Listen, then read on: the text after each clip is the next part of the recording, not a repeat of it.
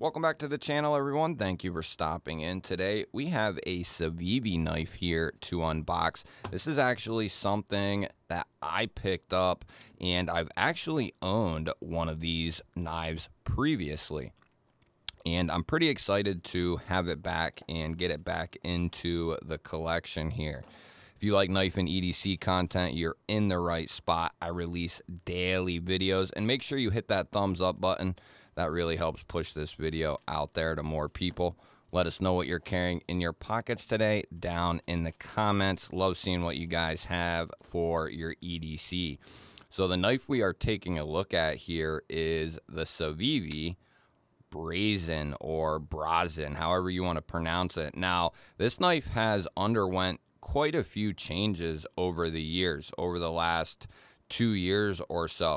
It originally came out in a 14C variant. Then they put out a Damascus variant like you see here in this drop point configuration. Then they came out with a Tanto variant in D2. Now they have Tantos and drop points in 14C, and I believe they even have, I believe, a button lock version of the Brazen. Now, this knife right here in the drop point configuration might be a little harder to find in stock. I do know that the Damascus Tanto versions are in stock. The regular drop point 14C versions are in stock. Uh, it's just this specific model right here might be hard to track down. It's got a beautiful drop point blade. I love the Damascus on the blade here on the Brazen. Uh, it's one I remember really, really liking, and I believe Civivi's using some 9CR or 10CR variable for their for their Damascus. Uh, I don't know if it's 9CR or if it's like a 10CR VG10 type of deal. It's it's one of them too, I believe. So it's going to have decent performance. It's going to be pretty stainless and it's going to have all right edge retention, be able to take an edge very well. But it's like I always say with these Damascus version knives, Civivi, Kansept, whoever's doing these uh, in a Damascus form, not Damasteel, but a Damascus form in like the VG10 combo, it's not something you're going to buy for performance.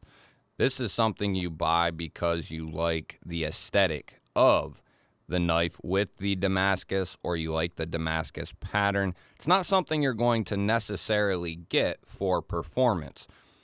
You're going to get decent performance out of it, but if you're looking for the most performance out of the knife, typically the non Damascus versions are going to be better in that regards depending on what you're looking for you know 14c is going to be a lot tougher than this uh, Damasteel is here.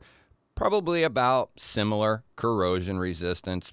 Uh, and then as far as edge retention goes, they might be pretty close uh, as far as 14C and this Damascus here. And then Kansept also does the same thing uh, with 154 and 14C. So, yeah, typically, you know, if you're looking for performance, you might want to go with just the base steel. But if you're looking for a little flair and a little flash, the Damascus is not a bad option, especially when you're getting it from a reputable company like Civivi here. You know what you're getting. I love that this has dual thumb studs and a rear flipper tab that's well executed and it's just as snappy as I remember it to be. Now, I do have another Brazen somewhere. Uh, I, I don't know if it's in my truck or where it is, but it's a uh, basic 14C and G10 version. Love that as well. We have great access to that liner. We have jimping on the liner. Beautiful micarta handles here. Deep carry clip, reversible. It's not recessed, but the screws are and that's going to leave you plenty of room in there. And then we have a G10 backspacer here with an integrated lanyard hole. Tons of milling internally there on those steel liners. another reason I love this knife is because of the size of this thing. It's right there at a full size knife. We're looking at right at eight inches, and that is considerably a full size knife. And we're at about three and a half inches of cutting edge, and then uh, I would say three and five eighths of total blade length, depending on where you want to mark it. Here it is up against the Para 3 up top and the full-size bug out down below. It's going to be quite a bit bigger than both of those. And we have the QSP Penguin up top here and the Civivi Elementum. It's going to be quite a bit bigger than both of those. And one more set, we have the 8020.5 up top there and the Paramilitary 2 down here on the bottom. It's going to be fairly close to the 20.5, but still a little bit bigger. And we have similar blade lengths here as the PM2, but the PM2 handle is going to be quite a bit larger. As far as how much this thing weighs, we have steel liners, nice thick micarta for our topper there, and we have a back spacer coming in at 8 inches. I bet this is like 3, 3, 8 three eight. Oh, I was gonna say three five two. Dang, pretty close. Pretty close. Not bad at all. That is right on point. If that is something that you care about at all, which it's not, uh, for me anyway. And if you're wondering what I'm talking about, there's something what I call ratio people. And those people are worried about if we have three and a half inches of blade length, they want three and a half ounces or under, or it's not proportional, or the ratios are off. And I will be done there. I am not a ratio person. I love the PM2. Ratio people hate the PM2. Now there's there's weight ratio people. There's blade to handle ratio type people. And then you have combinations of both. So the PM2, the handle's quite a bit longer than the blade. And that doesn't bother me in the slightest. Uh, you know, especially if you have larger hands, you know, a larger handle you can appreciate. So I guess if I could see if you have small hands or smaller hands, uh, where that it still doesn't make sense either way. So I'm not making excuses for you.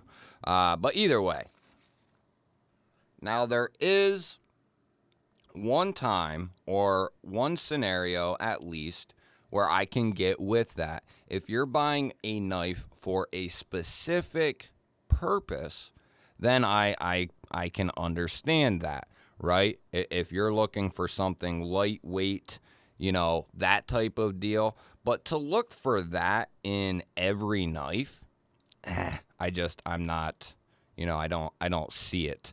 But uh yeah. For a specific knife, a specific role for the knife, no question.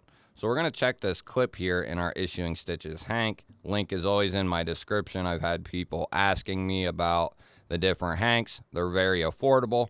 He is out of Pennsylvania. He does all these himself. And he has given my viewers, doesn't help the channel, doesn't help me. It's not an affiliate link. It's just for my viewers, a 10% code that is always linked down in the description. And I always use an Issuing Stitches Hank in these videos just because he is a huge, huge supporter of mine and he has been pretty much since the start of my channel. Back to the knife here, it is going to carry nice and deep. This is Civivi's old school deep carry clip, and I think they might even still use it on some models, but that's the the old school clip right there. It's actually a little bit shorter. I think they have some that are a little longer. Uh, so this might be kind of a reiteration of their old, old clip.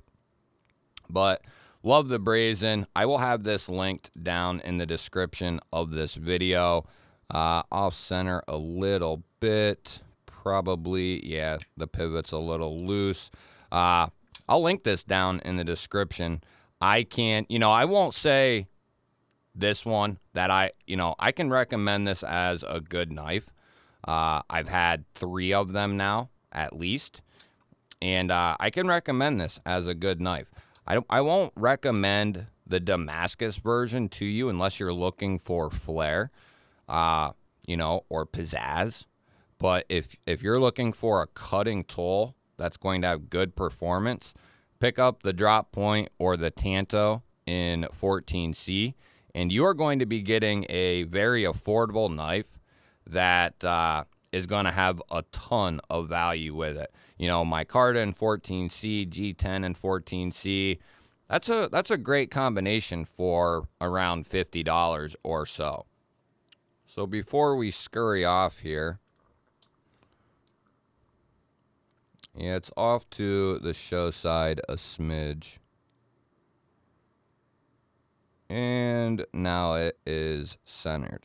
Very good. Very nice. Just a little, little tighty tight. Ooh, that even, isn't that funny? Just a little quarter turn can make uh, the action that much better. And as I said at the beginning, detent is tuned perfectly for this knife. Thumb studs work great. You have great access to them. They chamfer this area out on both sides very nicely. Flipper tab is jimped and it works really, really well for the light switch. And because it's flat faced, well, it's got a pretty stout detent. I was going to say you can probably push button it, but it's pretty stout. So I'd probably stick with the light switch, but a beautiful action. Closing action is buttery, buttery smooth. Love the brazen, and this one I will not be letting go of. You have to let me know. Have you ever seen the brazen before? Ever handled one? Ever saw one before? And if you haven't, does it look like a great knife, good knife, bad knife to you? I love hearing from you either way, even if it's just what you're caring for the day. Don't forget to hit that thumbs up button on your way out. I always appreciate that, everyone. If you're new here, I release daily knife and EDC content. Make sure you're subscribed, ring the bell. That'll notify you anytime I release new content and when I go live, which is Saturday and Monday nights every week, 9 p.m. Eastern. Everyone is welcome to come hang out, just watch, just listen, chit chat with everybody, and have a good time. I'd love to have you there. I will put up a couple of new videos here and here. Go check one of them out. Have yourself an awesome day. Thank you all again. I will catch you on the next one.